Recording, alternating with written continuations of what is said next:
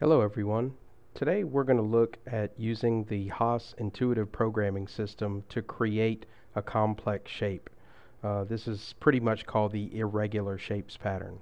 Um, to get to intuitive we're going to go to the MDI mode and we're going to go to our program conversational button which brings up our intuitive programming. Now the profiler actually exists inside of the turn and face tab and we're going to go over to profile and enter that.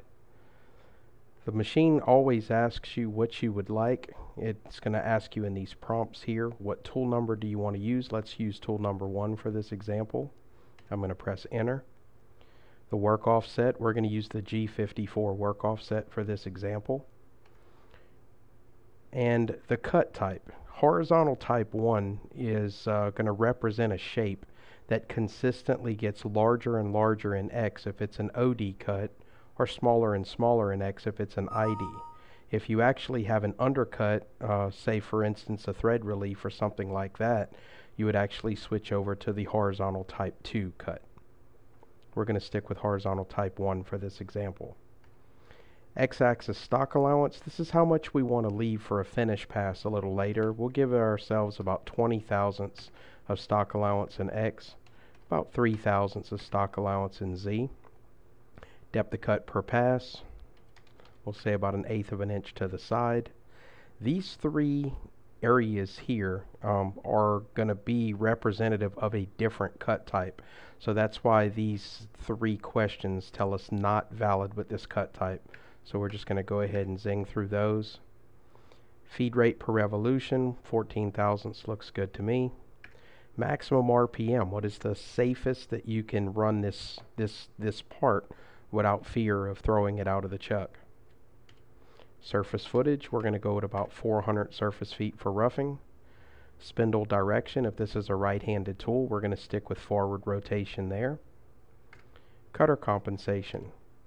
We're going to want to go cutter comp right if we're cutting an OD towards the chuck coolant. We'll go ahead and use coolant for this example.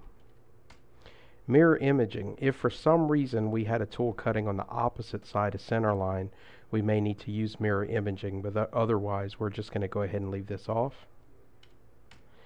And with the profile, uh, the shape creator, we can actually save multiple profile numbers. But what I'm going to do is get into that profile selector, and I'm just going to select the first empty shape.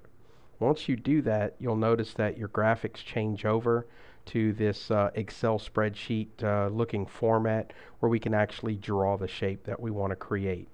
Now let's say our part is a 4 inch OD raw stock and it's about 6 inches long and we're just going to draw a shape that we want to cut.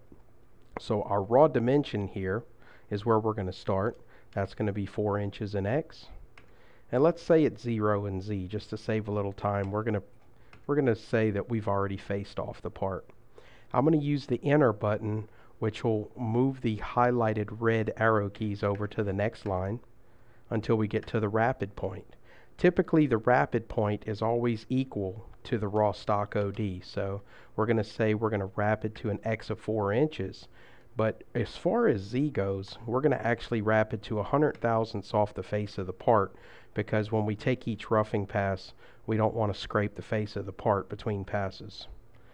Enter my way over to the next line and it's going to ask me for a starting point.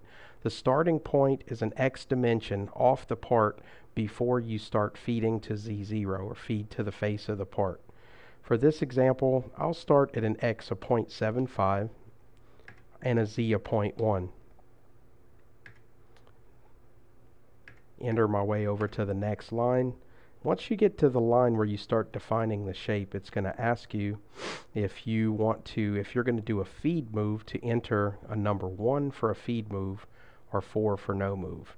I'm going to type in the number 1 here for a feed move and I'm going to feed to Z0. My next move is going to be to feed up to X of 1.0.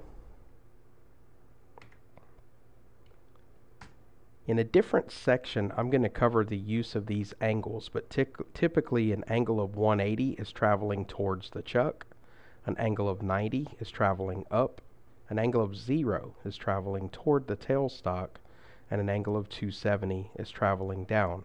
Of course, if you had some different compound angles, which I'm going to create here, I'll try to illustrate where these angles are actually used. We're going to go ahead and put a corner radius here of about 80 thousandths. I'm going to press enter, which will advance me to the next line. We're now going to feed, we're going to stay at X diameter of 1 inches, and we're going to go back a negative 1 inches in Z. You'll notice in this area that the drawing is starting to be displayed as we continue to put dimensions in. Let's say I want a corner radius on that guy also of a half inch. And let's say that that next feed move actually runs into an angled line. So I'm going to press feed here and let's say my X dimension goes up to two and a half inches. And let's say my Z dimension, I don't really know what that dimension is, but I do know that it's a 30 degree angle. Well, earlier I mentioned that 180 degrees is a straight line going toward the chuck. So 150 degrees would equal a 30 degree angle. So I'm going to go ahead and input an angle of 150 degrees here and you'll notice how it automatically calculated my endpoint in Z for me. It does the math. That next radius, I'm going to put a half inch corner radius on that corner as well. And then we're going to feed straight back in Z to a negative 3 inches. Our next feed move would go up to, let's just uh, go ahead and taper again right up to the OD of the part. So we'll go up to 4 inches in X. The z dimension we don't know. And that dimension, if it's a 45 degree angle, is actually an angle of 135. Now you'll notice that I don't have a corner radius on this corner right here. And let's say I really needed a 3 quarter corner radius right here. Um, if I use my up arrow key on the machine here, I can actually advance to the previous line and then my cursor will highlight that corner. I can then go over to the radius portion there and insert my radius size automatically. Now, the F4 key can be used to activate zoom. It allows you to zoom in on your shape to have a better look at everything. But once you're happy with what you see, you're going to use the F2 button to save and exit that shape. That saves the shape and exits the program. Once we exit the shape creator and we go back to our standard cutting page here, this is where we have the opportunity to either press cycle start if we just want to make the part straight in MDI mode, or we press the F4 button to actually record this guy out to a program. We're going to create a new program out of this particular shape, and I'm going to pick a program number that doesn't exist yet. I'll just say program number 02000.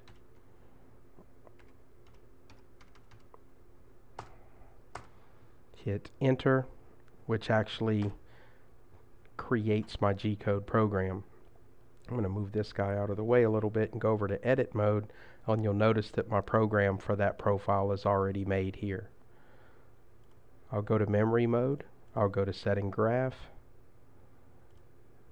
and I'm going to cycle start this this guy and there's my shape. I'm going to zoom in on that part a little bit by pressing the F2 button pressing the page down button to make the window smaller, and then using the arrow keys to surround the shape of the part. Press enter once again. Now I'm zoomed in on my shape, and if I'd like to, I could single block my way through this shape so we can watch the simulation line for line. Each one of the roughing passes and the final roughing pass. Now, if for any reason I want to run a finish pass afterwards, I could go straight back to the shape creator. I'm still using the same profile number. However, this time around my cut type is going to change from a horizontal type 1 or 2 to just a finish forward, which means toward the chuck. I'm going to press the F4 button to record this. We're going to we're not going to create a new program we're going to output it to the current program that we're working on. So I'm going to press the enter button. I'm going to press the blue end key, which is actually going to bring my cursor to the bottom. And I'm going to press the enter button to create that program. So now my, now I actually have a profile here and then I have the finish shape underneath it as well.